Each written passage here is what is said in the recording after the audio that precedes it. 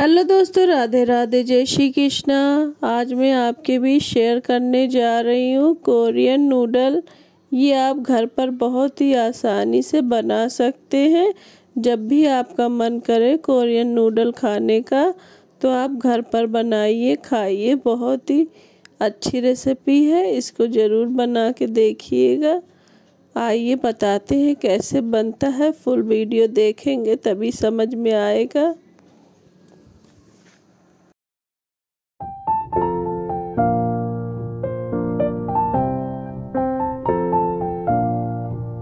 Korean noodle बनाने के लिए तीन आलू ले लिए। बड़े साइज़ के, इसको पहले से मैंने उबाल के रखे थे।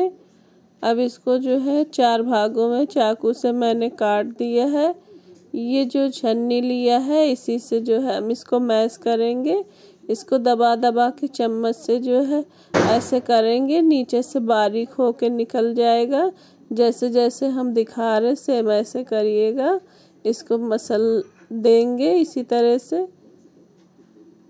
इस तरह से बारीक जो है आलू हमारा जो है मसल जाता है। इसी प्रकार से मैंने सारे आलू को मसल लिए हैं। अब मैंने मैदा लिया है। चार चम्मच बड़े में मैदा डालूँगी। दो चम्मच अभी डाला है। दो बाद में डालूँगी। स्वाद के अनुसार थोड़ा नमक डाल दिया, इसको मिक्स कर लेते हैं आटे के रूप में। जैसे आटे का डो रेडी करते, वैसे चार चम्मच आटा मैंने डाल के इसका डो रेडी कर लिया है। ये देखिए छोटी छोटी टिक्की लेके जो है, अब इसको जो है, बना लेते हैं। कोरियन नूडल का आकार दे देते हैं। इसी प्रकार से सारी टिक्कियों का सेप दे देते हैं। इस तरह से हमारे पास ढक्कन रखा था। आप कुछ भी ले सकते हैं। इस तरह से इसको बना लेते हैं। बहुत ही अच्छा लगता है दोस्तों, इसको एक बार बना के ज़रूर देखिएगा। जैसे जैसे हम दिखा रहे वैसे वैसे ही बनाइएगा। सारे रेडी हो चुके हैं। पानी को मैंने पहले से उबलने के लिए रख दिया था। इसी में मैं डाल देती हूँ एक एक करके, जितना इसमें आ सकता है उतना मैं डाल दूँगी। मीडियम आँच में ही इसको पकाइएगा। दो मिनट पकाइएगा, ज़्यादा मत पकाइएगा, नहीं तो ये हार्ड हो जाता है ज़्यादा पकाने पे। दो मिनट पकाने के बाद जो है, पलट देंगे। ये पक चुका है, थोड़ा सा पलट के भी पका लेते। एक एक मिनट के लिए मैंने जो है, पकने के लिए छोड़ दिए। ये देखिए, अच्छे से ये पक चुका है। ज़्यादा मत पकाइएगा। अब एक एक करके मैं इसको निकाल लेती हूँ। इसको निकालने के बाद ठंडे पानी में ज़रूर इसको डाल दीजिएगा। साइड में मैंने ठंडा पानी ले रखा है। अब इसी में मैं डाल देती हूँ, ताकि ज़्यादा ये ओवर कुक ना हो सके। इसी प्रकार से जो है, सबको तैयार कर लेते हैं। ये देखिए, बहुत ही अच्छे से ये पक के रेडी हो चुका है। आइए, बना लेते हैं इसको कढ़ाई में। मैंने रिफाइंड ऑयल डाल दिया है, चार चम्मच बड़ा, एक बड़ा बारीक प्याज काट लिया था। आप लंबा भी काट सकते हैं, मैंने बारीक काट लिया है। एक बड़ा प्याज लिया है, इसको जो है हाई फ्लेम में ही सारी सब्जियों को पकाएँगे हम। प्याज को चला लेते हैं। बहुत ही अच्छा लगता है दोस्तों, बाहर आप इसे लेने जाएँगे। काफ़ी पैसा लगता है। इससे बढ़िया है कि आप घर पे बनाइए, खाइए।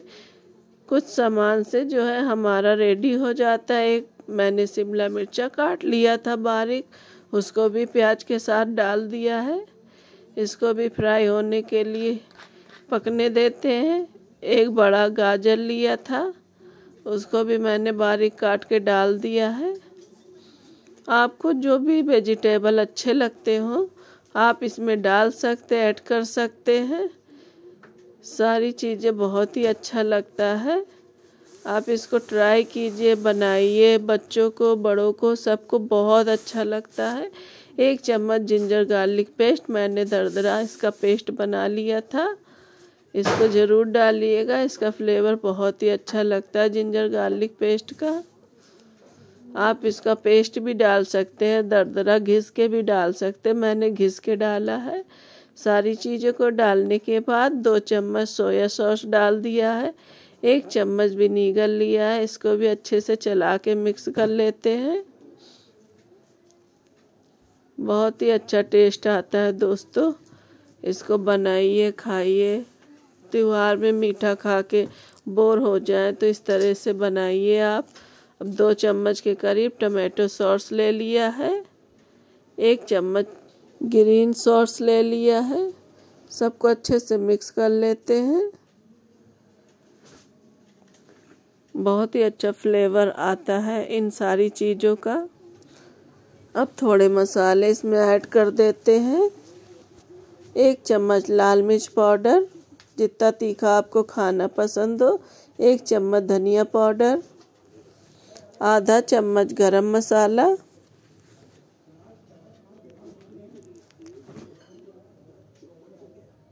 एक चम्मच ऑरिगेनो स्वाद के अनुसार नमक।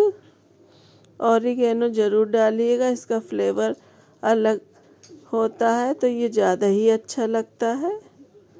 अब मैंने जो है, एक कटोरी लिया, उसमें दो से तीन चम्मच के करीब कॉर्नफ्लोर ले लिया है।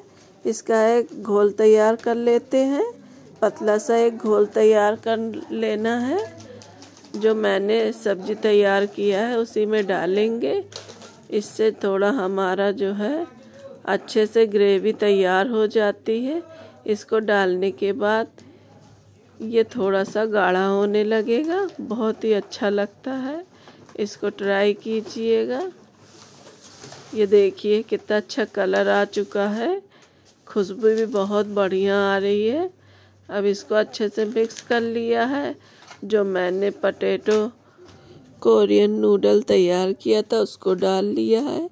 अब इसको अच्छे से मिक्स कर लेते सारी चीज़ें एक दूसरे में अच्छे से चिपक जाए।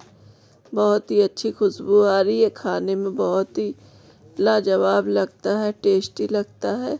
बच्चों को तो बहुत अच्छा लगता है। जब भी आपका मन करे कुछ अच्छा खाने का, आप इस रेसिपी को बना के खा सकते हैं। कम बजट में, कम सामान में रेडी हो जाता है। एक चम्मच सफ़ेद वाले तिल ले लिए हैं। इसको मैंने डाल दिया, इसका भी अच्छा लगता है फ्लेवर आप नहीं डालना चाहते हैं तो स्किप भी कर सकते हैं। हमारा कोरियन नूडल तैयार हो चुका है। आइए इसको सर्व करके दिखाते हैं। ये देखिए कितना अच्छा लग रहा है। खाने में बहुत ही टेस्टी लगता है, चटपटा सा नाश्ता है। आपको हमारी रेसिपी अच्छी लग रही हो तो लाइक, कमेंट, शेयर, सब्सक्राइब ज़रूर करें ताकि आने वाली अच्छी अच्छी वीडियो आप तक पहुँच सके। मिलते हैं न्यू रेसिपी के साथ। तब तक के लिए thank you thank you for watching जय श्री कृष्णा राधे राधे